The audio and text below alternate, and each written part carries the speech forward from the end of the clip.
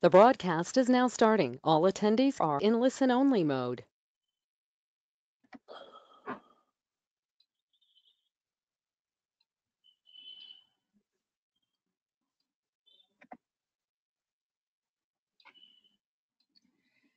Good evening, everyone. Uh, welcome to the another episode of Thought Leadership Monthly Meet by the NHRD Bangalore chapter uh, uh, for the month of um, July.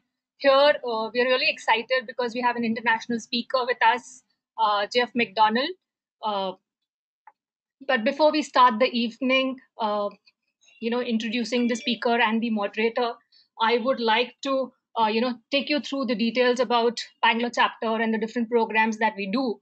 Uh, just a throwback in terms of the programs or the certification programs that we have done, um, you know, in the last months or what is it in coming months uh, we have a lot of different initiatives that we do as a as the Bangalore chapter. Uh, monthly meets uh, is probably one of them that we've been doing it. You know, on a Thursday evening, last Thursday uh, of the month that we do this. When it was regular face-to-face events, we used to do it at Chancery, and now since the month of March, we've been doing it on the online platform, uh, GoToWebinar and then we have a lot of learning programs hr showcase uh, you know confluence which is completely for students and academia that we do uh, different programs that we do it. How one can become a member you know of nhrd bangalore chapter.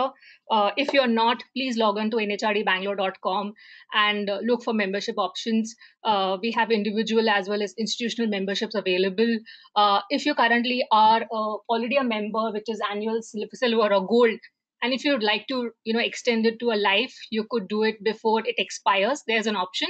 Just write a mail to us and we will definitely help you out on that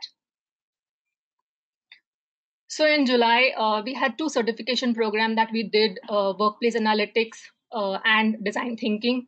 Uh, we had about close to 70 participants, you know, being a part of this. Um, we may have the second version of this program coming up soon. So watch the space, keep us, uh, you know, uh, look at us on social media as well as on website. You will hear from us on the upcoming programs we also had a very interesting program that we did. We have done this earlier, and this is the virtual speed mentoring that we had.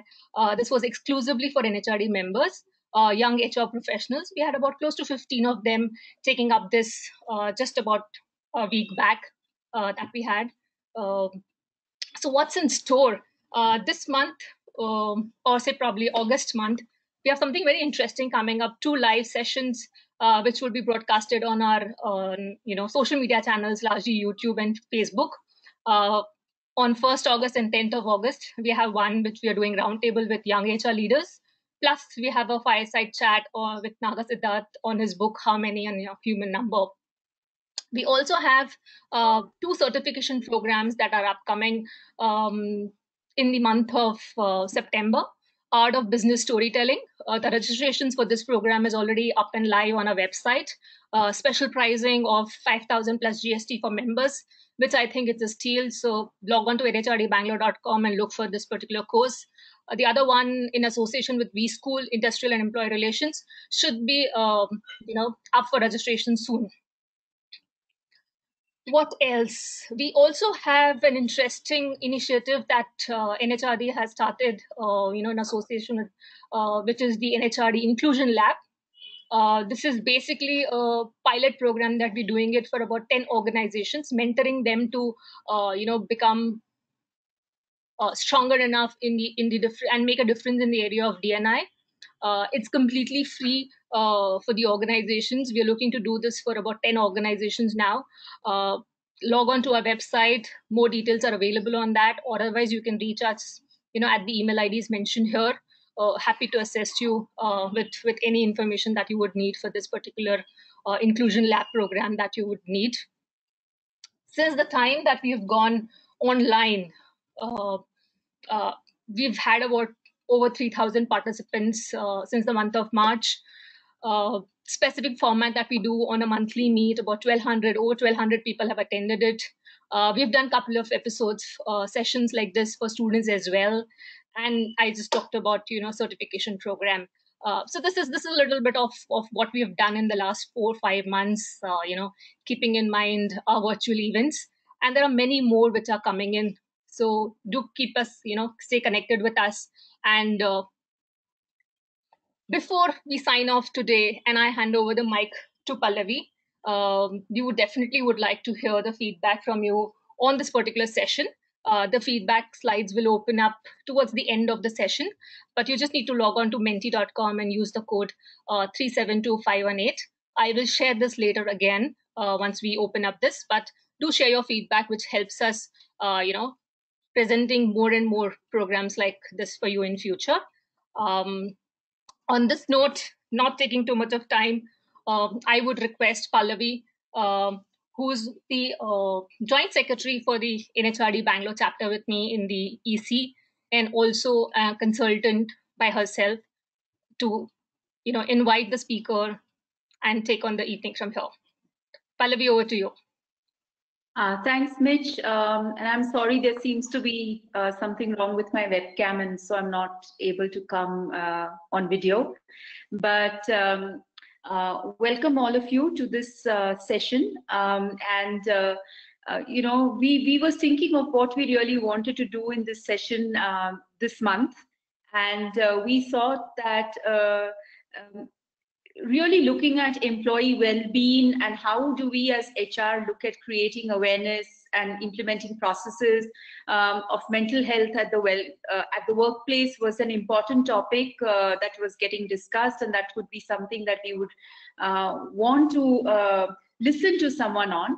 And uh, we are very glad to have geoff mcdonald with us. Um, geoff uh, for, since 2014 has been a consultant and a global advocate and campaigner. He works in the area of mental health especially um, in how do workplaces and um, organizations work towards removing the stigma of mental ill health in workplaces. And he works with uh, leadership teams uh, to figure out how purpose can become a key driver in the workplace. Uh, prior to um, uh, 2014, uh, Geoff was the global VP of HR at Unilever. Um, welcome, Geoff uh, to our talk today. We are really looking forward to you listening to you. And uh, before I hand over to Geoff, I would like to thank uh, Krish Shankar, um, the president of uh, our national NHRD National Board, for introducing us to Geoff uh, and uh, for um, speaking with him on our behalf so that he could be with us this evening. Over to you, Geoff. Okay, thank you, Pallavi. Can you hear me okay, Pallavi? I can. We can. Okay, so I'm assuming uh, everybody can hear. Yes. Um, yes. So thank thank you so much for that very uh, kind introduction. And you know, I'd also like to just extend my thank yous to. I know I know Krish as Shanks because we worked together for many many years in Unilever. Um, so I will refer to him as Shanks, and I would like to extend my thanks for him reaching out to give me this wonderful platform this evening to uh, engage with you on a subject that I'm very, very passionate about, which is around uh, addressing the whole stigma of mental ill health in workplaces.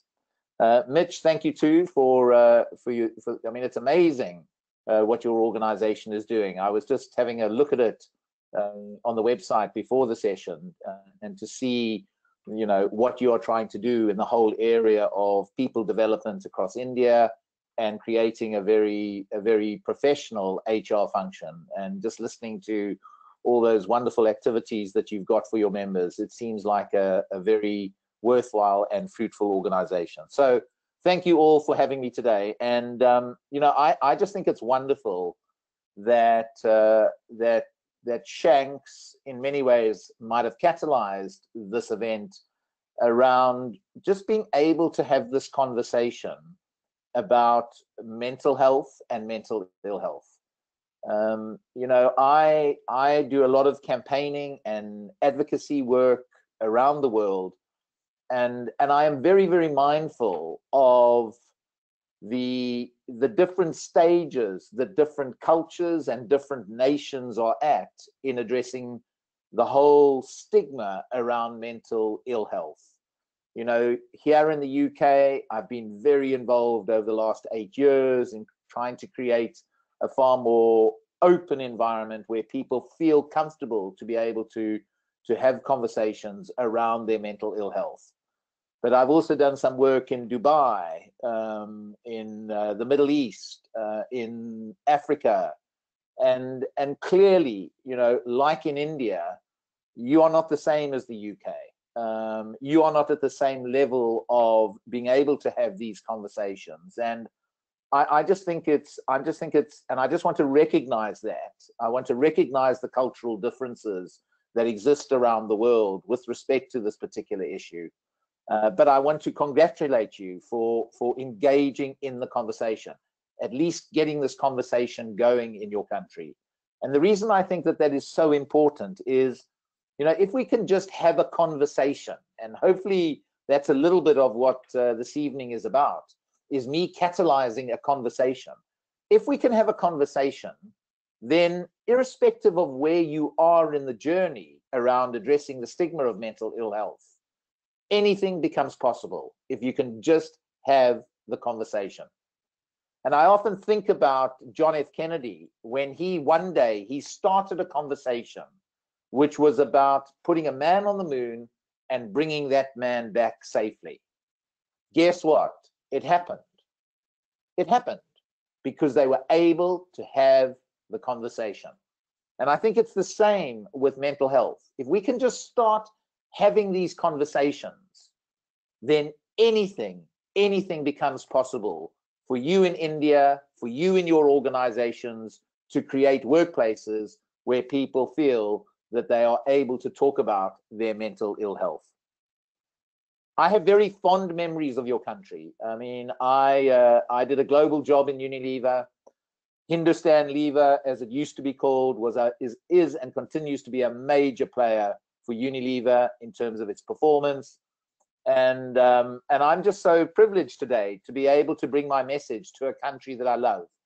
I spent many many uh, days, many weeks in different parts of India during my career with Unilever and uh, it's just wonderful that in some ways, COVID 19 has democratized the conversation around mental health and mental ill health and has allowed me to engage in countries, organizations where in the past they might not wanted to have this conversation. But I think COVID 19, COVID 19 has democratized the conversation around mental health you know i don't think there's anybody out there or any nation state which is kind of or organization where individuals are not feeling a little bit more anxious a bit more stressed where ceos chief financial officers chros are feeling that way and and almost getting a sense of the whole mental health subject so in many ways covid-19 has done a lot to help me to get the message into into organizations where I might not have been able to do so uh, in the past. Finally, I should just recognize where you are as a country in terms of COVID-19. I want to just recognize the impact that it is having on your country. I was just looking at your cases, over 1.5 million, in the excess of 30,000 deaths, and that's real bereavement, that's real tragedy for individuals, for families and for communities. And I would just like to recognize uh, uh, the the challenges that you are all going through uh, with respect to with respect to COVID. Now, you give me a platform today um, to actually just live out my own sense of purpose. And I think it was Mark Twain who once said, he he said, "What are the two most important days in your life?" and you know when i when i ask audiences when i talk in different parts of the world and i and i'm on a stage and i throw that question out to the audience and i say mark twain what did he say are the two most important days in your life most people answer by saying the two most important days is the day i was born and the day i die and then i think to myself and i make a comment back to the audience to say what is it about the human species that we are so pessimistic? We can't wait for the second most important day in our life, which is the day that we die. So let me be born. Day two, put me in an incubator and maybe I'll die. And that is an important day. And of course, Mark Twain didn't say that the two most important days in your life is the day you were born and the day you die. He said it's the day you were born and the day you find out why you were born. Why you were born. And you know, I honestly believe that every single person on this webinar today, everybody who is born, we are all born with a unique gift, a unique gift that when we uncover that gift, when we uncover it, we can bring it to the world to make it a better place. And getting in touch with that why, with that unique gift that you bring to the world to make it a better place, helps to answer the why. And I'm very, very clear on that why. It's a very, very simple why. And let me just share with you what my why is. It is to try and create workplaces. And you know, a fire brigade is a workplace. A school is a workplace. A university is a workplace. Yes, Infosys is a workplace. Yes, Tata is a workplace. Yes, Unilever is a workplace. But I want us to try and create workplaces all over the world, all over the world, where people in those workplaces feel that they genuinely, genuinely have the choice to put their hand up and to ask for some help if they are suffering from a common form of mental ill health. That could be depression, it could be anxiety, and it could be bipolar. I think we should have workplaces all over the world where people in those workplaces, in families, in communities, where people feel that they genuinely have the choice to just ask for some help if they are struggling with a common form of mental ill health. And I don't think that's a very noble purpose. And let me tell you why I don't think it's very noble. Because in every workplace, in most families, in most communities all around the world, people feel they genuinely have the choice to put their hand up and ask for help if they are suffering from a common physical illness. There's not a family, a community, a workplace around the world where if you have a common physical illness, you feel completely comfortable to put your hand up and ask for some help. Yet in the 21st century, 21st century, when we talk about driverless motor cars, artificial intelligence, we've put men and women into space, we've brought them back safely. In the 21st century, we still have workplaces all over the world where, as we talk this evening, billions, not millions, but billions of people are suffering in silence. We have families, we have communities where people are suffering in silence and they don't think that they can just put their hand up and ask for some help. And how can that be right in the 21st century? How can it be right that I can't talk about my mental ill health, but I can talk about my physical ill health? And you know, everybody on this call tonight, including me, we are all mental. There's not one of us who is not mental. That means we have cognitive abilities. There's not one of us that's not emotional, where we have feelings. There's not one of us who is not physical. And there's not one of us who has a spiritual entity to ourselves. Yet we find it so difficult to talk about the emotional and mental part of who we are. And in the 21st century, where most workplaces are driven by what I would call a knowledge economy, where our cognitive ability, our mental health is so, so important to be able to analyze data and make a good decision, to be able to concentrate, to be able to focus, to be able to read a document and remember what you've had, read. That cognitive ability, so, so important. And you might say, well, Geoff, why are you so passionate about trying to create those sort of workplaces around the world? What is it that's what is what is what lit your fire to want to go and do this? Leave Unilever at the end of 2014 to go out into the world and do this work. And what lit my fire, and I'm going to share with you my story today, is back in 2008. I'll never ever forget the date. It was the 25th of January, 2008. And you know, the reason I don't forget that date is because on the 26th of January, 2008, my eldest daughter was going to turn 13. So you can imagine how much excitement there was in our household on the eve of the 25th of January 2008. Because here's this young girl who at midnight on the 25th of Jan was going to go through a rite of passage. She was going to become a teenager.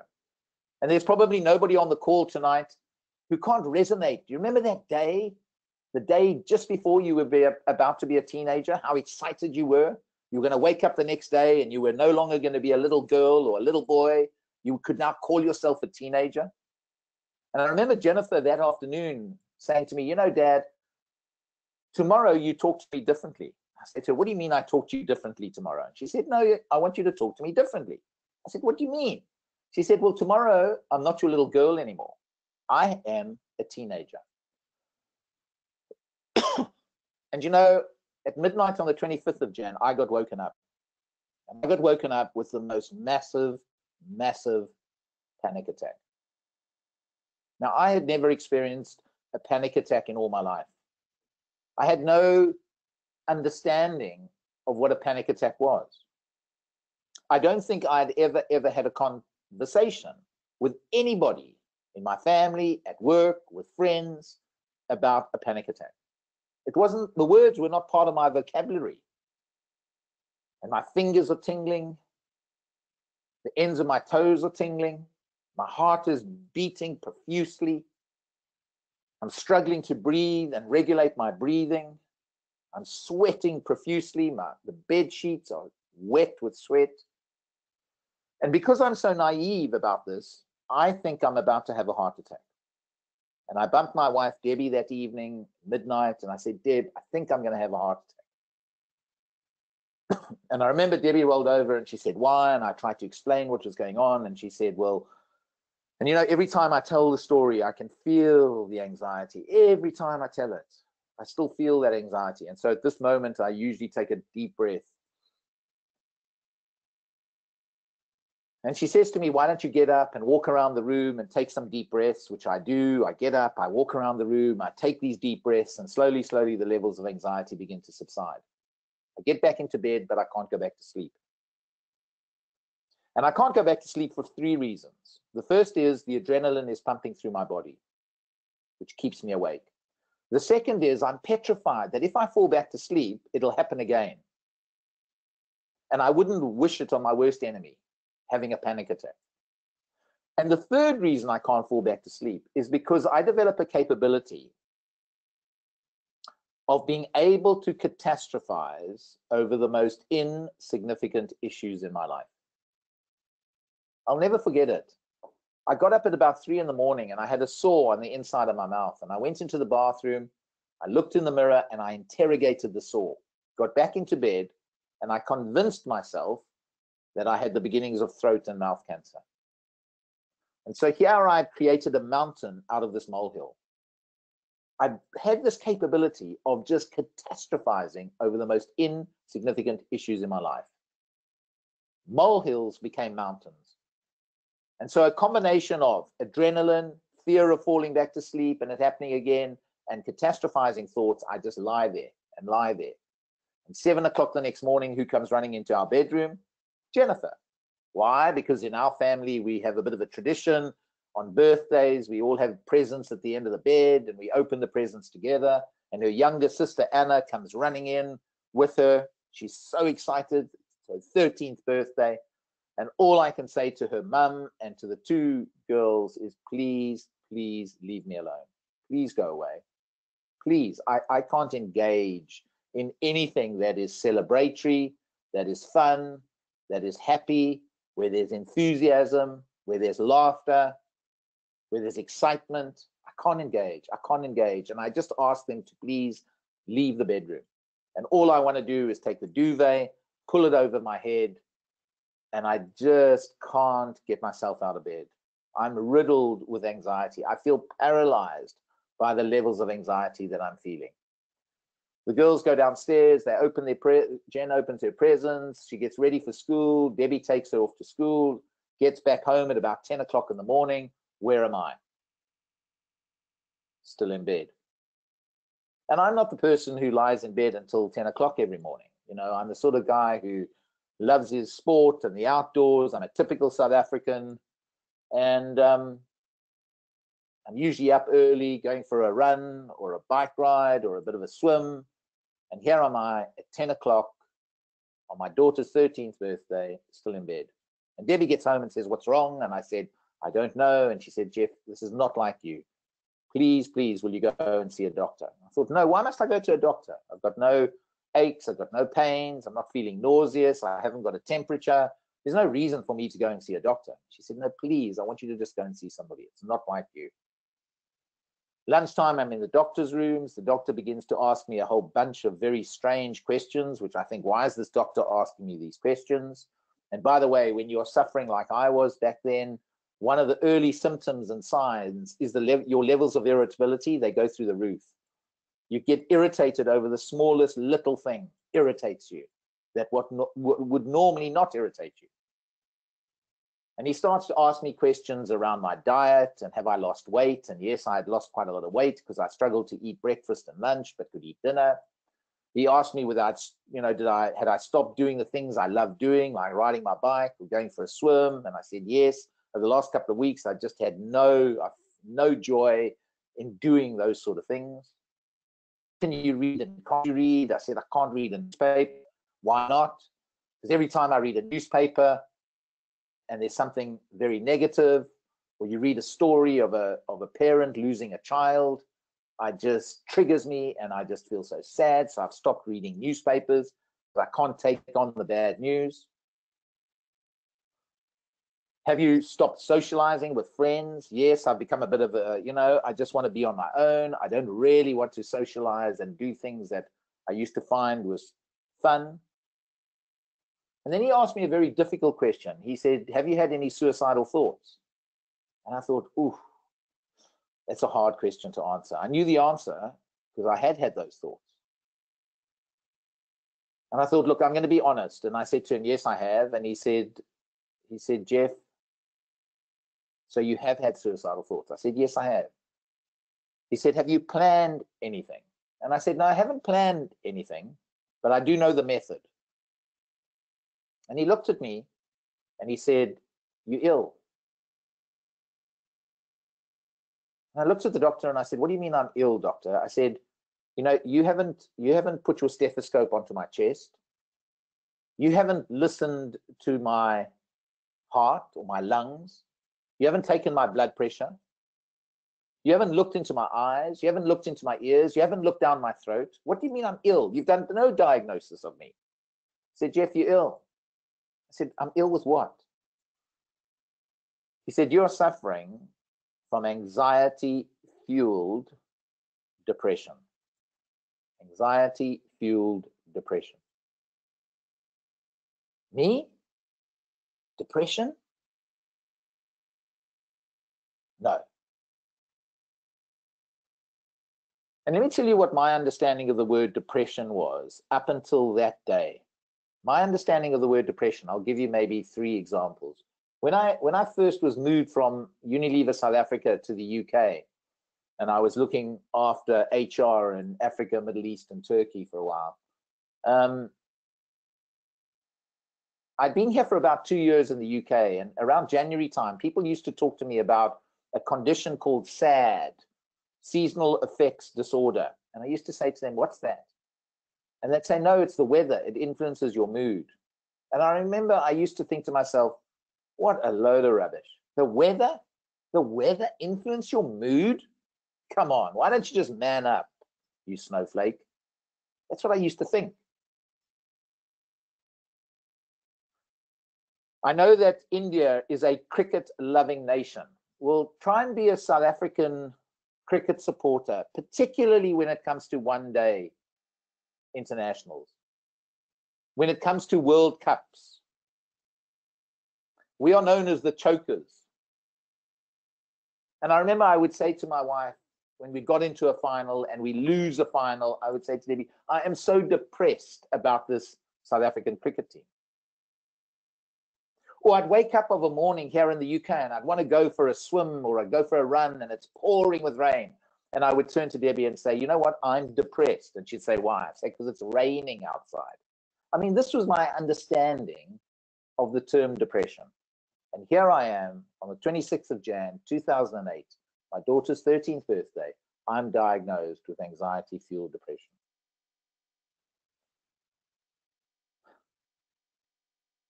When I leave the doctor's rooms that day, I make a decision that saves my life, literally saves my life. I don't think I'd be engaging with you today had it not been for this decision that I made. And the decision I made was that I refuse to be burdened by the stigma that is associated with mental ill health. I refuse to be burdened by the stigma. I refused. And I'm the sort of person who wears my heart on my sleeve. You can see my feelings in my eyes. I find it very difficult to mask it. And so I thought, I'm just going to tell. I will tell my daughters, my wife, my close friends, and some of my colleagues at work that I am struggling with anxiety fueled depression. I had to take three months off work. Now, you might say, Geoff, why did that save your life? the reason it saved my life is that every single person that I engaged with, bar a couple, you know that I got back from them the most powerful emotion that kept me alive during my darkest, darkest moments. I was very naive about this illness. I thought that, you know, when the doctor said, Do you want medication? I'm saying yes. Why? Because I thought it was like an antibiotic. You'd give me some medication, three days later, I'd start feeling better. Well, guess what? Six weeks, seven weeks, I'm still not feeling better. We have to change the medication. And during that time, I'm going through dark moments. I go through moments where I don't think life is worth living. I don't think, I think I'm a burden to everybody around me. But the only thing that kept me alive, and it was because I was able to talk, because I was able to have those conversations with family, close friends. And I was so lucky. I had an employer, I had a boss at the time who had a compassionate, he had an understanding relationship to mental ill health. And what I got back from all of those people was the most powerful emotion in the world. And it is called love. Love. You know, in my darkest moments, knowing how much I was loved by my daughters, by my wife, by my friends, by some of my colleagues, just feeling that love in my darkest moments, it's the only thing that kept me going. To know that I was loved. How often do you talk about love in your workplaces? How many songs have been written about the power of love? Imagine a world where love trumps fear and hate, what that could look like. And yes, through a combination of feeling loved, medication, cognitive behavioral therapy, slowly getting back onto my bicycle, meeting with a friend every two weeks who, a couple of years prior to my illness, had been so sick with depression that he'd been hospitalized. And I used to meet with him and I saw he was better. He gave me hope. And so a combination of hope knowing that I could get better, feeling loved, love, medication, CBT, etc., etc. I get myself better. I had to take three months off work back in 2008. I reintegrate myself back into Unilever, slowly, slowly. 2010, I have a relapse. Nothing as bad as 2008. I'm still able to go to work and stay at work in 2010. And then in October of 2012, for some of you who've been in London and you might have been around Blackfriars, I happened to be leaving Unilever House on Victoria Embankment. I was walking over Blackfriars Bridge. It was October of 2012. Walking down to Waterloo Station to get my train home. And as I'm on the bridge, my telephone goes. And I take the call, and on the end of the call is my wife. And she says to me, Geoff, where are you? I said, Look, I'm on my way home. She said, Please, please, you need to get home very quickly. I said, Why? She said, I've got terrible news. I need you at home. You can imagine where I went immediately. I mean, the first question I ask is, Are the girls okay? And she said, Yes, the girls are all right. But one of your closest friends died by suicide this afternoon. Now, I think it was Jung who once said, the brighter the light, the darker the shadow. Think about that statement. The brighter the light, the darker the shadow. I can assure you that that applies to me. But here was my friend, my friend. He brought so much light, love, compassion, and energy to the world, and now he was gone. And I got home that night and I lay in bed and I came to a very, very simple conclusion.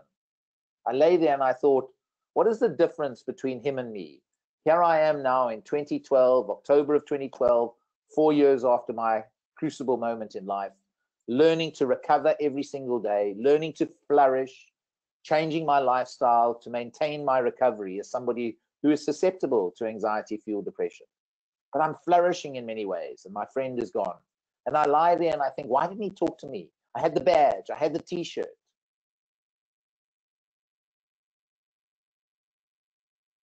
And I thought, what was the difference between him and me? And the only difference I could come to, the only simple conclusion that I come, could come to, was that I was able to have a conversation about my mental ill health. I was able to go and see that doctor who liberated me to be able to talk about the stuff because I got a diagnosis and he couldn't. And if you want to picture him, he was an alpha male Afrikaner South African. There's no ways he could have a conversation. And I lay there and I came to the conclusion that stigma, the stigma around mental ill health, the stigma around depression, the stigma around anxiety, that stigma had killed my friend. And you know what? That's not fair. That's not fair. And I thought I have to do something about that. I didn't know where to start. I'm a South African living in the UK. That night I wrote to a guy, a senior, used to be a very senior politician here in the UK when Tony Blair was in power. He was doing a lot of campaigning and advocacy. I found his website. I wrote him an email that night. And I just said, look, please will you meet with me? And his name was Alastair Campbell. Within 10 minutes, I got a response from Alastair Campbell. A week later, we met up close to where he lives. And ever since that day, November of 2012, because of his influence, because of his reach, he began to open some doors, which allowed me to take tiny, tiny footsteps, tiny footsteps, footsteps back in 2012, tiny, on a journey filled with a deep sense of purpose. And that is to create workplaces everywhere around the world where people in those workplaces feel that they genuinely, genuinely have the choice to put their hand up and ask for some help. Because you know, one conversation, just one conversation that somebody feels comfortable to be able to have, that one conversation might just save a life. And I'm not sitting here today talking to you all in India and saying that had my friend been able to have one conversation, he would definitely be alive today. I'm not saying that for one minute. But what I am saying is, had he been able to have that one conversation, there's a tiny, tiny chance, a grain of sand chance that he would still be alive today. He'd still be alive had he been able to have that one conversation. And you know, that tiny chance, to give somebody that tiny chance, that's worth fighting for every single day of my life. It's worth fighting for. And my challenge to you as an HR community, to people who are who are passionate about people, about people development, about creating organizations and cultures where people can perform at their best. My challenge to you as an HR community is what are you doing to create an environment, facilitate creating an environment in your organizations where people who are struggling with a mental ill health condition feel it's actually okay to just ask for some help, to just ask for some help. You know, we talk about diversity and inclusion. How can we be an inclusive workplace if we can't talk about our mental health, our mental ill health? And we can only talk about our physical health. How inclusive is that? That I can't bring my whole self to work. I often hear HR people and people in organizations saying, oh, come on, we want you to bring your whole self to work. well until you do, until you do bring your whole self to work. And so I am passionate. That is why I'm so passionate about trying to create these kind of workplaces. And what I want to share with you a little bit this afternoon is, is what are some of my lessons? What are some of the lessons I'm learning as I journey this path of a life filled with a sense of purpose? And you know, I think it was, I don't know who said this, but somebody said that having a sense of purpose in your life, it'll take you to people and to places you could never imagine. Well, I can tell you, three months ago, one month ago, I could never have imagined talking to you all tonight. But that sense of purpose takes you to people and to places one could never, ever imagine. And I've been so lucky over the last couple of years as I've traveled this path to work in different countries, different sectors. And I've I've begun to learn some simple principles around our health, our well-being, our mental health, and how do we address the stigma. And I want to share some of those with you today. But before I do that, I just want to make sure that everybody can see my screen. Uh, Pallavi, can you see my screen? Yes, yes, I can. We can. Okay, okay, great.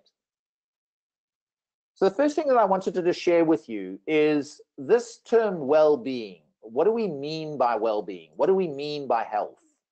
And a lot of my thinking, a lot of my thinking is influenced by this framework around our health, our well-being. And it's not my framework, but it's a framework that has been developed by Warwick and Edinburgh University here in the UK. And our health is made up of our physical health. And you know, we we we get and maintain good physical health by sleeping well, by taking time out to recover. How many of you ever take out a bit of time during the course of the day, every two hours, to just have a five minute recovery break? Or do you think you are like I was? I thought I was a machine and I didn't need to recover. I could work 24 7. Well, guess what? I broke. And so recovery, recovery, recovery has become an essential part of my everyday routine, taking those moments out to recover. Yes, being active is good for my physical health. Yes, eating and drinking the right stuff is good for my physical health. And then above our physical health, we get our emotional health. These are our feelings. And we have we have something like 330 odd feelings. From contentment to sadness to feeling depressed, anxious, happy, those are our feelings. And the two biggest drivers of our emotional health are our relationships with the people we love, the people we work with. When those relationships are soured, it really has a huge impact on our emotions, how we feel. And the other big driver of our emotional health is our financial security, how we feel financially. And then we have our mental health. That's our cognitive ability. It's our ability to think clearly, to have good attention span, to look at some data, analyze the data, make a decision, make a good judgment. That's our mental health. It's our cognitive ability. It's a wonderful thing to have, good mental health. Oh, it's so good when you feel that you can focus, you can remember stuff, you can make good decisions. But sometimes our emotions cloud our cognitive ability. When you feel very anxious, anxious, anxious, anxious, and try and read a document, you can't remember what you read. You're going to read it three, four times over because you're feeling so anxious. So you can see how our emotional health can influence our mental health. And then right at the top of the triangle, Warwick Edinburgh talk about our spiritual health. And I tend to, when I go into large organizations, I tend to talk more about that sense of purpose, that sense of meaning. And so a lot of what I'm going to say this afternoon is very much driven by and influenced by this framework. And I'm going to focus very much on the kind of emotional and mental health piece. You know, what are some of the things that you could be doing to create workplaces where people feel they can talk about their emotional health when it's stressed or their mental health when it might be stressed? And I think that COVID 19, if we just think of the context that we're in right now, you know, we all know the physical effects of COVID. We all know what the physical effects of COVID. I'm sure, you know, you've got a dry cough, you've got a temperature, you lose your taste and smell. We all know those physical effects of COVID 19. But what we haven't been talking much about are the psychological effects of COVID 19. You know, the increased feelings of fight and flight, reductions to our immune system, increased feelings of stress, anxiety, desperation, sadness. And you know, I think right now, as HR professionals who want to lead for healthy workplaces where people's lives are enhanced by coming to work, I think it's so important that we as leaders, we cognizant of this and we're sending a message to our people. It's actually okay to experience some of these effects. It's actually okay. And you know why it's okay? Because there are a number of factors that are contributing to these effects. You know, there are there's uncertainty out there, huge uncertainty. We're seeing huge disruption to social connections. People are having to learn to work from home again or having to, for the first time ever, work from home, disrupting those relationships, those social connections that are so, so important for our emotional health.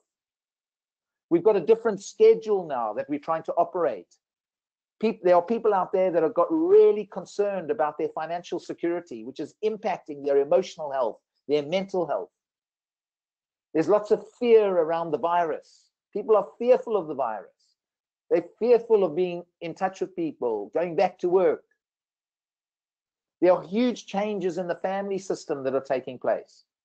People working from home, mothers having to be, you know, work as a work during the day, mother, educate kids. I mean, all these changes, fathers doing the same in the family system. And, you know, I've just seen some data that has come out of the US recently um, some data around the impact that COVID 19 is having uh, in the US in terms of the increased numbers of people that are feeling depressed, stressed, anxious. 200% increase since February in levels of depression, anxiety. And you know, why is that? Why is that? That's because Hundreds of families are feeling bereaved right now. They've lost loved ones. There's a high degree of bereavement. There are people working on the front line that are seeing trauma and feeling the trauma, seeing people die in front of them and feeling traumatized.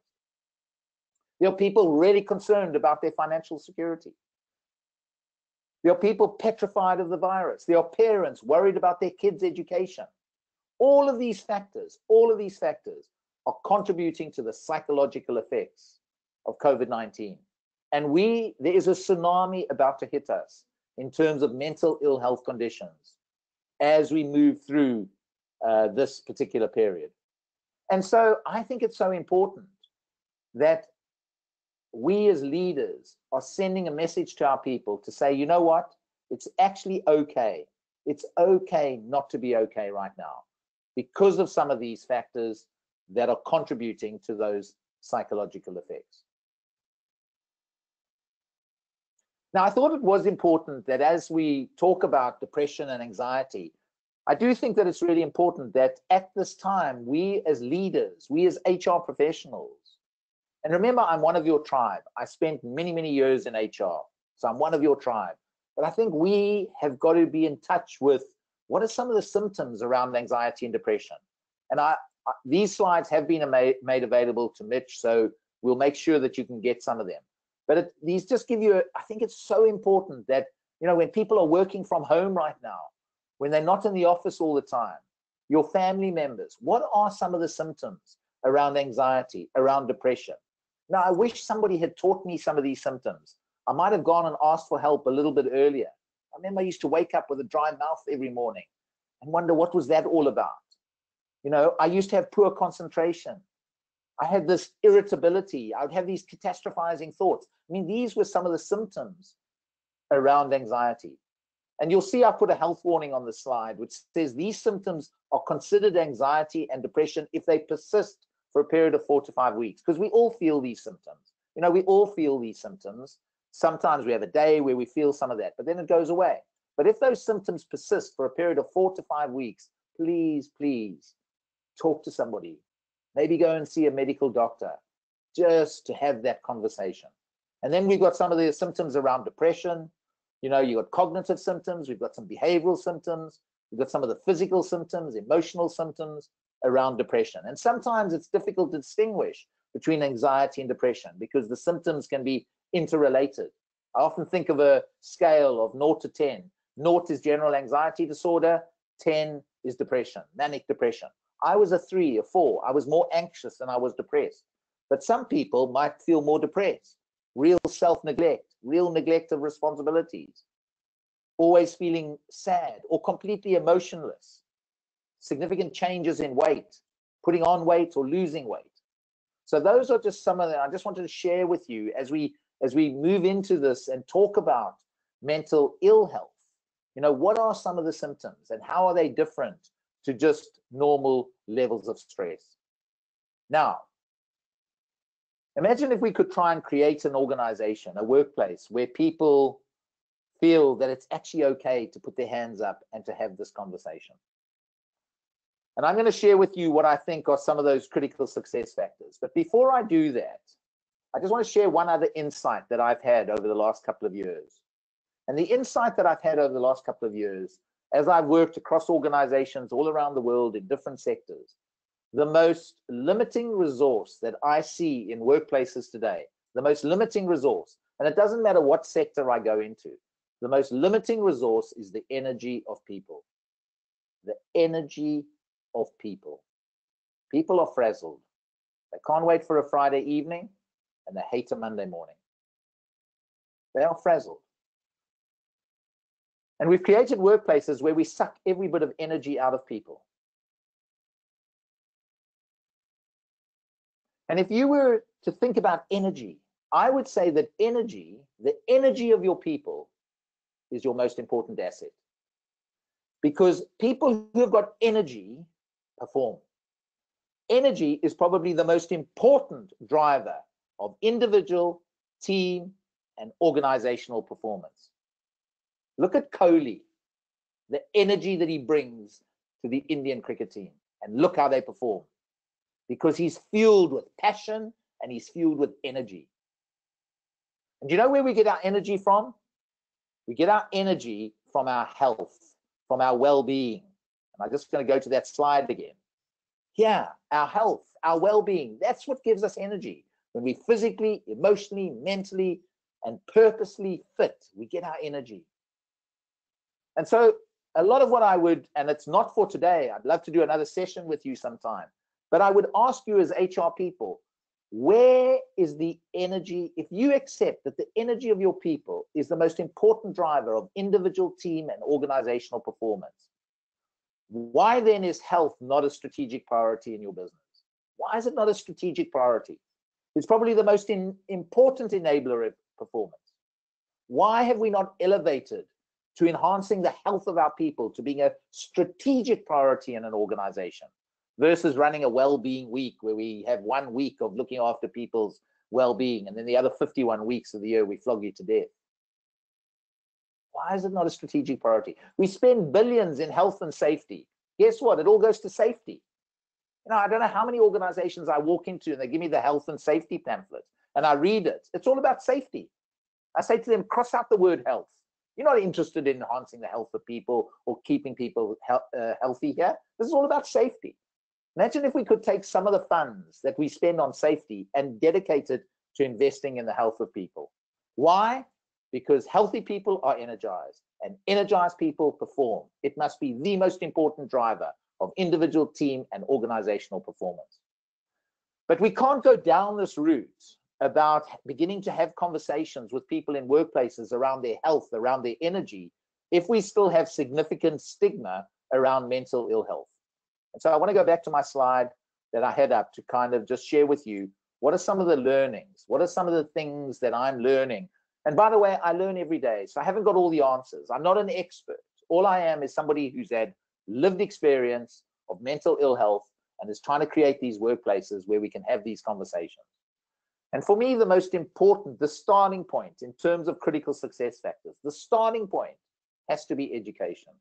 It has to be. It has to be teaching every single person in your organization, teaching them what is stress, what is depression? What is anxiety? What are the symptoms to look out for, both in yourself as a leader who's leading other people? What should I be looking out for? How do I have a conversation if I notice that somebody's normal behavior has not been normal for three or four weeks. I notice some of the symptoms. How do I, as that line manager, start the conversation? How do I start that conversation? Or how do I, as the individual who's feeling those things, start the conversation with my line manager? How do we reintegrate somebody back into the workplace after they've been ill? And so education, education, you know, I bet you in all of your workplaces, when people join your work, they have a safety briefing. They get some safety education. Well, if we want to address the stigma of mental ill health in workplaces, and I know that this sounds simple and simplistic, but it is simple and it is simplistic. But it's about having the will, the will to invest in educating everybody in the organization, like we do with safety, around mental health, mental ill health, the symptoms, how to have supportive conversations. And it's so simple, yet why is it why isn't there the will to do this? Do people think that if we start having these conversations, it's going to it's going to lead to all sorts of problems? Well, that's not been my experience.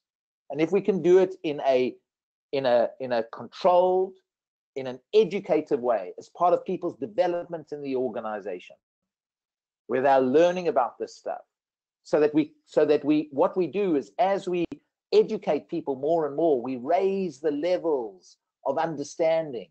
We raise the levels of compassion around mental ill health. We begin to create a culture where people feel it might just be okay to talk about this. So education, education, education. The second critical success factor has to be in the area of what I call campaigning, awareness building, running campaigns internally around mental health. You know, I've seen some wonderful campaigns, you know, with some companies here in the UK and other parts of the world. Like one campaign I remember seeing, you know, was a campaign that was run twice a year and it was it was all about how are you? dot dot dot. Really? Because how often do we ask people how are they? and they say they're not very well and then we just ask them where's the presentation that you said you were going to get to me at 12 o'clock? So running a campaign around how are you, dot, dot, dot, really. Asking that question twice, three times. There was a lovely campaign that Citibank did recently where, where individuals in the organization who had a compassionate, who had an understanding relationship to mental ill health, those individuals wore green armbands. So when you got in the lift of a morning and you saw somebody with a green armband on, and you might be struggling with your mental ill health, you knew you could go to that person. They would be compassionate, they would be supportive, they would help you. Wonderful campaign around raising the awareness around mental ill health. I think the other thing that we have to think about as a critical success factor is the language. And I think for you, you know, I can't I can't tell you what is the right language to use in India around mental health? Is it mental health? Is it mental fitness? Is it mental well-being? But what is the right language? How can we create a more a more positive and aspirational narrative around mental health? You know, I often say that brand mental health, it's the most damaged brand I've ever come across, the most damaged brand. You know why it's the most damaged brand? Because whenever people use the word mental health, we immediately go to illness. We go to depression. We go to anxiety. We go to bipolar. We go to post traumatic stress disorder.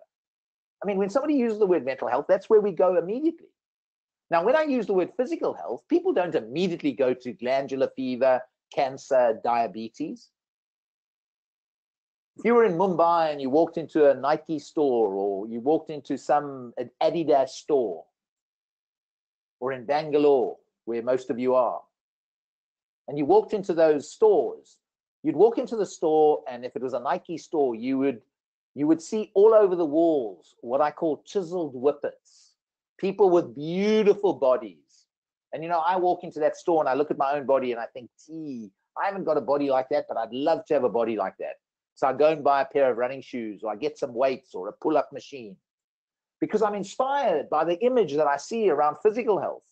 What is the image you see around mental health? The images we see is all about black and white photographs, people with their hands in their heads. There's nothing inspirational, there's nothing aspirational about mental health, mental fitness, and how do we maintain good mental health and good mental fitness. And so I think campaigning, language, creating that positive brand around mental health. And of course, there are going to be people that are ill, and we need to support those people. The third is about storytelling. And you know, I know that this is probably very, very difficult, you know, within your current environment and culture, encouraging people to get out there and to share some of their stories like I've done today. You know, every single story that we tell, every story that gets told, it's like sending a lifeboat out into the ocean. And the billions of people that are suffering in silence, they cling on to that lifeboat when they see it, when they hear that lifeboat, they cling on and they realize, they realize they're not alone. They realize they might just be normal. And so storytelling, and you know, I always, there's a wonderful example I always talk about around storytelling and the work that I did when I was in Unilever around addressing stigma, together with a guy called Tim Munden.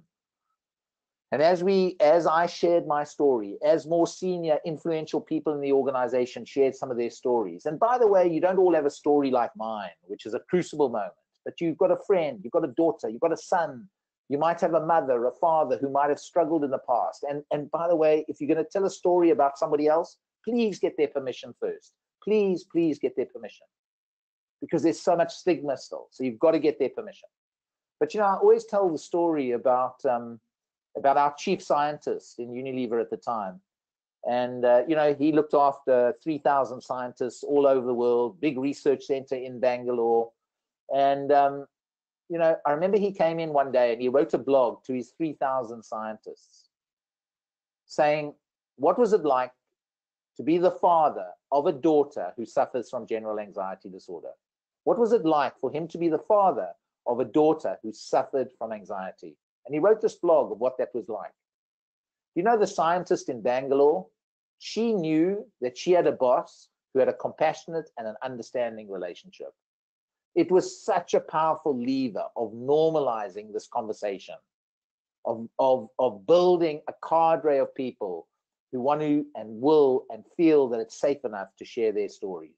So storytelling, storytelling is probably the most powerful driver of addressing the stigma, of breaking the stigma of mental ill health. But I probably wouldn't go down storytelling first until we've done some of the education and we've created a, a climate and an environment where there's a greater level of awareness, understanding, compassion for this particular issue. But storytelling, storytelling, so, so powerful. And then finally, you know, and it's probably where you start. If you're going to go down this track of beginning to educate people, you're going to run campaigns, you're going to try and normalize the language, you're going to make it more aspirational, you're going to get stories out there in your organization.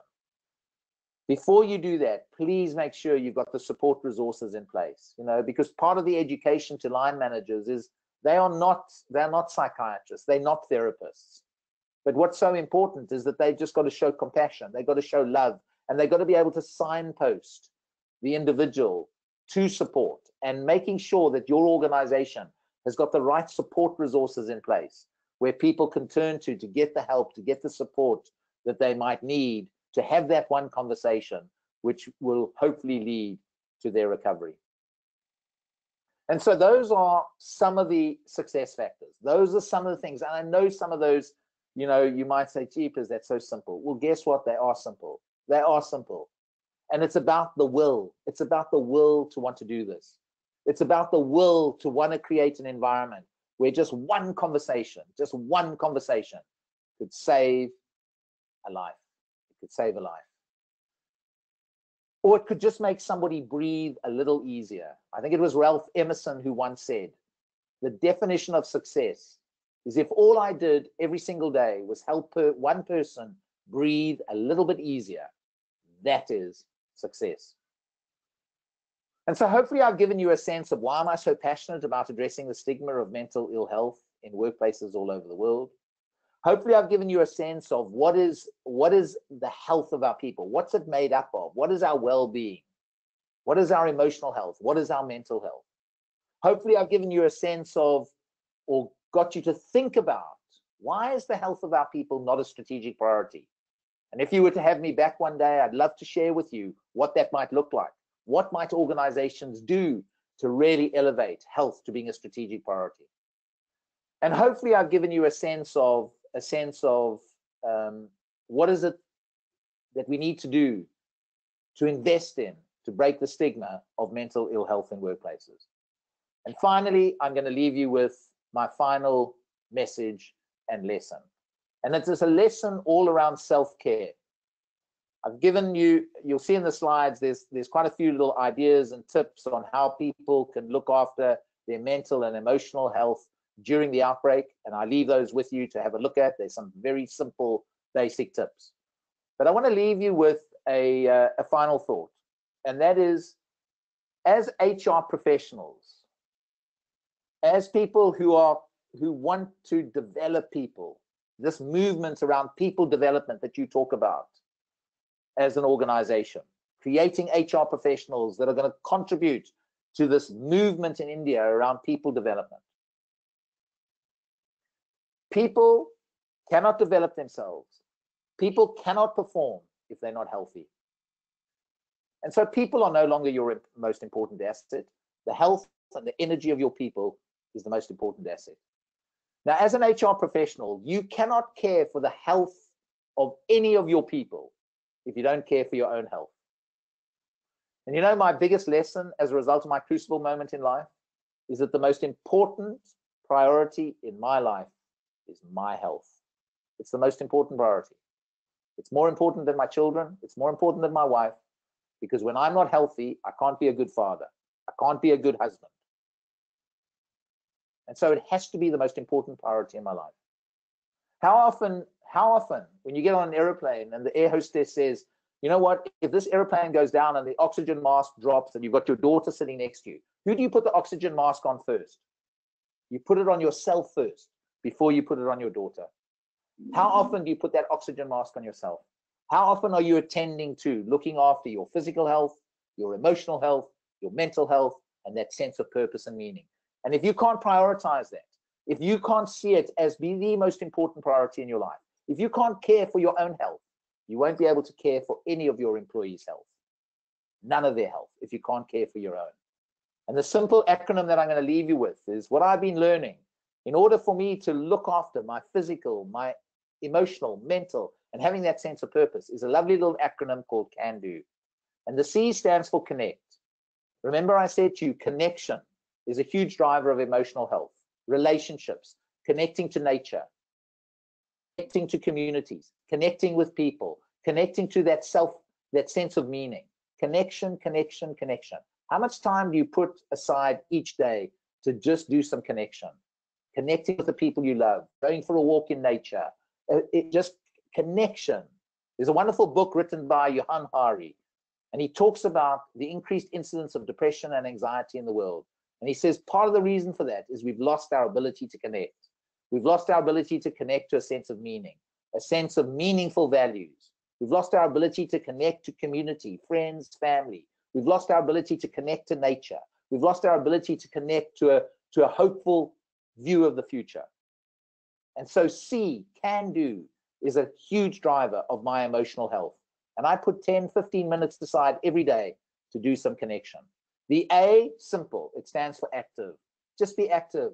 I'm not asking you to go and run a marathon, but maybe you just go and take a 10 minute walk every single day or a 15 minute walk where you're just active. You're getting that blood flowing. Active, active, active, because it's good for your physical health. The N stands for try and be nice to somebody every single day and see what that does to your emotional health. See what that does to that sense of purpose that you're giving to somebody else You're being nice to somebody. The N stands for nice. So important. The D is all about discover, learning something new, getting those that cognitive ability, the fitness, those neurons working, learning, being curious, learning something new, listening to a podcast, understanding something that you've always wanted to learn about. It's such an important driver of our mental health, our cognitive abilities. And the O stands for observe. Just taking that time out, five minutes every two hours to just observe. It's the most difficult one for me because the my, my mobile phone and that connection to technology is so addictive. And to just be able to go and stand outside, look in the daylight, look at the leaves, look at the color of the sky, and just be in observation mode.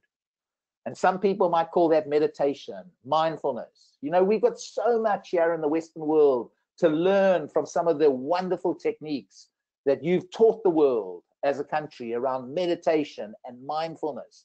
But you know what? In the modern world, we become so busy. We become so busy. We've forgotten about those things. We don't do it anymore. We don't think it's important. And then we wonder why we are struggling with high incidence of mental and emotional health. And so let me end there and then hand back to Pallavi because there might be some questions, a bit of a conversation that we can have in the last uh, 20 minutes of our session. Hopefully, at the end of the day, all I've done is I have either, for some of you, I might have confirmed a belief for you. And in confirming that belief, you might just feel a little inspired to go the extra mile to address the stigma of mental ill health in your workplaces. For others of you, I might have challenged a belief. I might have challenged some of your beliefs around this whole area of mental health. And in challenging that belief, maybe you'll just go and do something differently. I can't leave you today without asking you to just think of three things that you can do as an individual. Just as an individual. You don't need the organization, just as an individual. What could you go and do to start this journey of addressing the stigma of mental ill health? The first is reflect on your own relationship to mental ill health. Is that relationship a relationship of intolerance? Or is it a relationship of compassion and understanding? And if you're intolerant to mental ill health, all I ask you to do is go and be curious. Go and learn. Go and be educated. Just be curious about this subject. The second thing that I would ask you to do is just start a conversation. Just start a conversation. Because if we can just have the conversation like we're having today, anything, anything becomes possible. But if you can't have the conversation, nothing is possible. And then finally, when you're ready, when the environment is right, please tell your story. Because every story that we tell is like sending a lifeboat out into the ocean where the billions of people who are suffering in silence, they cling on to it and they realize they're not alone and they are just normal, like me. Thank you. Uh, thank you, Geoff. Um, I, yeah, really, really engaging session. I mean, you know, I was just sitting and thinking as to, um, and I think a lot of participants have sent us messages saying they're so thankful for you having shared your personal journey and your vulnerabilities. Thank you for that. Um, before we uh, take questions, and I we have a couple of questions over here. Uh, before that, I would just like to remind everyone that Michelle has put in the uh, code uh, for the feedback on Mentimeter on menti.com. Uh, it's in the chat, so if you can look at that and give feedback. Um, and I'll get back to you, Geoff. Uh, we have a couple of questions here. So the, uh, one of the questions is around um, what are some what is the biggest challenge do you face when helping organizations create a workplace that promotes well-being? And at what levels do you face resistance? Um, i think the biggest challenge is is getting senior leaders in organizations to see the correlation between energy health and performance challenge number one. You know, I live and work in this space all the time, and it's like obvious to me that the energy of our people is our most important asset. You know, when Virat Kohli is not on fire, you guys don't perform like you normally do. When he's on fire and he's energized and he's got that team passionate, look how they perform. And we get it from our health. And so making this link between energy, health, and performance and and and helping senior leaders see that link. I think that's barrier number one. The second is the, the creating business case and how to go about creating that business case. But you know, in many ways, I'm sick and tired of business cases. You know, we look at the whole diversity and inclusion agenda. For years, we've had business cases as to why we should have more diverse senior leaders, more women in senior leadership roles. And guess what? We don't see huge, huge progress. We all know the business case. We all go to Harvard, just Google it business case, health, performance. You'll see five, six pounds, dollars return for every one dollar or pound invested. And for me, what it is, it's about that will. It's about that will. It's about saying, you know what? This is just the right thing for us to do. It's the right thing for us to do to enhance the health of our people. It just must be the right thing. So why don't we just do it because it's the right thing to do? But sometimes you get these hard-asked CFOs who are just interested in the return on investment, and therefore you've got to create the business case. You know, and and we're not as mature in the area of health as we were with safety in being able to make that business case. But it is sometimes that can be a really, really significant barrier to beginning to invest. Uh, the other thing that I would say is that I think we should also sometimes focus more on the positive. You know, young people today, they want to work for organizations that have got a sense of purpose. They want to work for organizations where they feel that there's a sense of care. They want to work for organizations where they feel proud to be able to talk about, you know what, part of my development, working for, excuse me, Shanks, but working for Infosys, guess what part of my development is? Is about enhancing my health. I've got a development plan which is about enhancing my health, not just my skills, my knowledge. They don't treat me like a unit of production. They treat me like a human being. They want me to be healthy and they're giving me these opportunities. And guess what? I'm taking accountability to do that. And so, you know, getting some of this well-being stuff to really stick. The things that are missing, Pallavi, are things mm. like organization accountability. You know, organizations don't feel accountable to keep people healthy. All they're interested in is keeping people safe. Keep you physically safe, but then guess what? I'm not interested in your emotional or mental safety. But guess what? My cognitive ability is what I bring through the door in this organization. So why don't you want to also keep me mentally and emotionally safe? Why are you only interested in keeping me physically safe? So there's organization accountability. There's no individual accountability. We've got to drive individual accountability through well-being plans, development plans, where people have as part of their development is enhancing their well-being. And then finally, elevating health to being a strategic priority. So we invest the resources, financial and human, to execute that priority like we would any other one. I hope that helps to answer the question around what are some of those barriers. Yeah, I, I think so, and I think you you know you uh, you're mentioning, and we spoke about this earlier also that it all actually starts with the leadership. So the leadership Absolutely. has to really start having those conversations.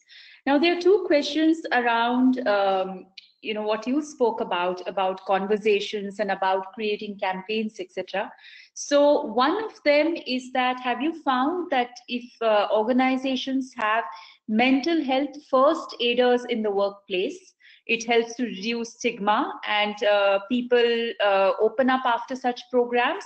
And also, how do you um, help managers, um, you know, remove the block of saying that uh, uh, it would seem intrusive if they suggested counseling to some employee? Um, yeah, look, mental health first aid. I used to be a, a, a, you know, I was on the board of mental health first aid. So I, am a big proponent and supporter of, of mental health first aid. Wonderful that we have some mental health first aiders on the floor, just like we have physical health first aiders. But it's not enough. It's not enough. We've got to train everybody. And I'm not saying you all have to do a one day mental health first aid course or a two day and become real specialists.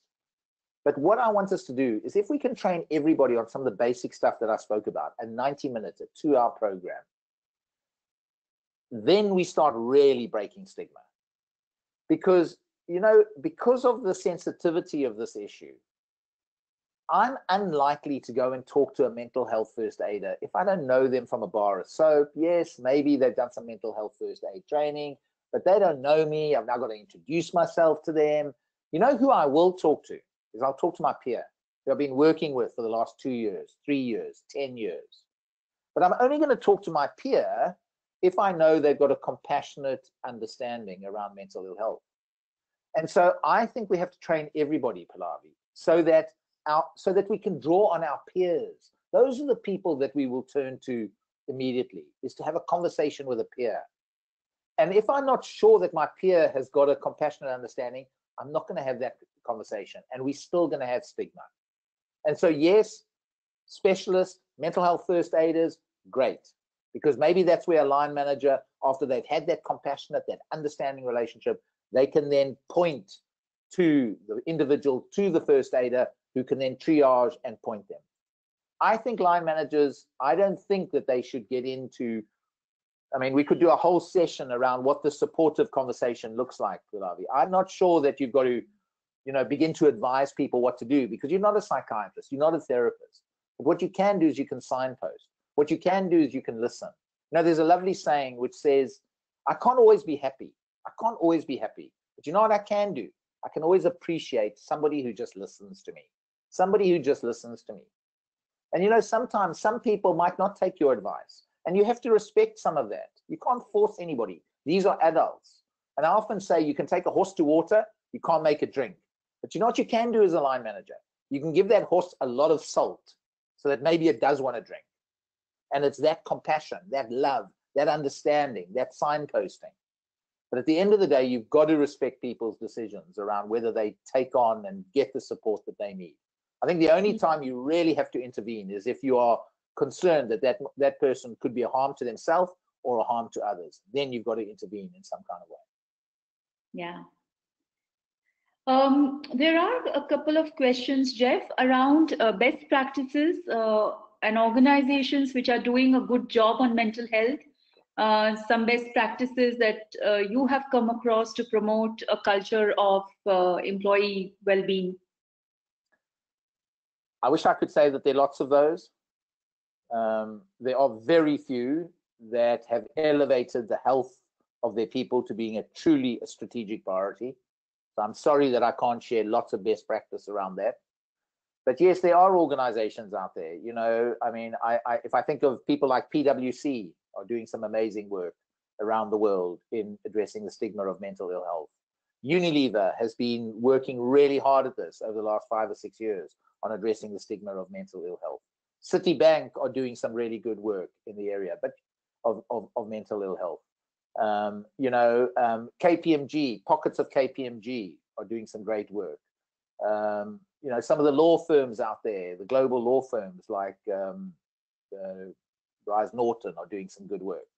You know, so so you know there there are you know, and here in the UK, you know, there's some more sort of UK-based firms like utility companies, Network Rail, um, Anglia, Anglia Water, um, who are who are beginning to do some some really good work. And and what is that good work? It's you know, it's it's as simple as what I was saying. They're investing in educating everybody. They're running wonderful campaigns. They've got people sharing stories. Barclays is another one. HSBC is another one that's really trying to attend to some of this stuff. Um, so yeah, those are just some examples of organizations that are that are taking on the global challenge and and making a real effort to address the stigma of mental ill health. All right, so I think we have time for about just uh, one more question.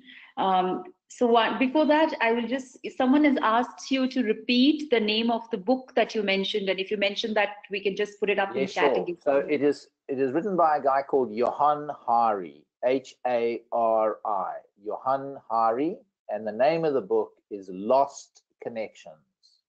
Lost Connections, all right. The other resource that I would suggest people have a look at is a book written by Rangan Chatterjee, Dr. Rangan Chatterjee, and it is called The Four Pillar Plan. And the final resource that I would suggest people have a look at, because if you don't believe me that workplaces are diminishing people's lives, then go and read Professor Jeffrey Pfeffer, P F E I F F E R. Professor Jeffrey Pfeffer, who has just written a book, dying for the paycheck, dying for the paycheck. All the longitudinal research into what workplaces are doing to diminish people's lives. All right. Um, I guess just the last question, Geoff, um, and that is, uh, and I think people are asking it also because of the time uh, that we are in right now, um, is what should we do uh, to take care of the physical and mental well-being of the people now? Maybe one, if you can just share one or two tips that people can take back to their workplace. Yeah, sure. Okay, sure. Let me just, uh, can I go back onto screen? Um, can you see my screen? Uh, we can see a screen, but I don't think, Got are you present? presentation. No. I want to be able to present something. Um, Uh, how do I? Avinash, can you? Hold on, there we go. Show. Okay, right? Can you see it now? Yes. Okay, great. So Pallavi, I, if you have a look, um, we probably didn't have enough time to go through all of this, but I have, you know, in terms of around COVID-19 and just a few things here that I would that I would share is, and that I'd encourage people to think about in terms of looking after their mental and emotional health. So it's these slides, you know, try and avoid speculation around the outbreak and and just you know use any reputable sources on the outbreak because if you if you listen to what social media tells you and all these other things it just increases your levels of stress and anxiety try and stay connected you know keeping in touch with friends with family set up some private chat groups you know and you can and you can take this to the to the organizational level as well. You know how do you enhance connection? How do, can you how can you ensure that people are staying connected? You know encourage people to to to to to manage how they're following the outbreak in the media and just limit their consumption. You know if the media is getting on top of you and you're feeling stressed just limit your consumption of that media. Um, you know the other thing would be um, try and acknowledge how you're feeling you know get people to acknowledge how they're feeling. And that's why it's so important i think right now you know that that people in your organizations know that they can talk about this stuff. You've sent messages out you've created a culture you you know where people feel that they can talk about this and that they can you know they can have that conversation. Try and encourage people in your workplace to stick to a daily routine you know keeping active trying to have a balanced diet right now you know taking that lunch break you know having a regular start and an end to the day practicing a bit of meditation and some mindfulness. You know so these are just you know these are just a couple of ideas and some thoughts that people can do. You know the other thing is you know just this little slide here around some some questions you could you could get people to ask themselves. You know uh, employees what are they grateful for today you know who they're going to check in on who they're going to connect with today what expectation of normal are they going to let go of? Because nothing is normal right now so we can't we can't expect to be operating like normal. So what are we going to let go of? How am i going to get outside? How am i going to move my body? You know what can i do today to achieve my goal? So just a few little ideas and a few tips on on what you could be encouraging your your your employees to be doing uh, around enhancing their well-being um, their physical emotional mental etc etc and i think in and amongst what i've just said gives you some of those simple tips and bits of advice that people could uh, could look at you know i have a final sort of message also highly contagious is kindness patience love enthusiasm, and a positive attitude. Don't wait to catch it from others. Go and be the carrier. Thank you, Geoff. Thank you so much for being with us today and sharing uh, all your thoughts and answering all these questions. And I think, uh, you know, there's one resource that I would like to add, which you missed uh, saying. And I think um, if people want to see the work that you're doing and a lot of resources that if you've put up on your website, and that's that's a great resource too. Oh, thank you. Um, I've Yeah. been looking at that, and it's really interesting to see the kind of resources that you've been putting up over there. So I would urge people who are interested to know more to uh, visit Geoff's uh, website. It's the same, geoffmcdonald.com, right? no, dot and- .co.uk. Dot .co. .co.uk, and you will see a whole lot of resources there. So once again, on behalf of um, NHRD Bangalore chapter. Um, I would like to thank you for being with us today and to share sharing your perspectives and um, thanking Krish Shankar once again for introducing uh, you to us. Thanks so much, Geoff. Thank you, and thanks for having me. And Thank you. take care, everyone. Thank you, Geoff. too. Thank you, Pallavi. Uh, it was a lovely session, Geoff, and we've been getting a lot of uh, feedback. Thanks Oh, for good. insights that you've shared with us. Um, an amazing Wonderful. last 90 minutes that we had listening to you. Thank you so much. Thanks, Mitch. Yeah. And will you, I mean, I- I'd love to, you know, just if you can share some of, I love the good, I love the bad, and I love the ugly because I'm always trying to improve. So, you know, if there are a bit, some bits of feedback, uh, uh, good, bad, and ugly that you can share with me, I'd really appreciate that. I'll definitely do Yes. I'll definitely share the uh, feedback with you. Um, Thank you. uh, thank you, everyone. Uh, when we started, uh, we had over 175 people who had logged in. Um, we Wow. still have close to about 130 people here. So uh, Wow. last 90 minutes Wonderful. have been has been great for all of us. Thank you, audience, uh, for for uh, being uh, here on the ses- session. We'll see you next month, uh, last Thursday of the month, with another exciting uh, episode. If you have any suggestions, do write to us, and we'll be happy to look at it. Um, thank you, Avinash, from the national chapter, for helping us on the entire technology. Thank you so much. Good night. Take care. Good night. Good night.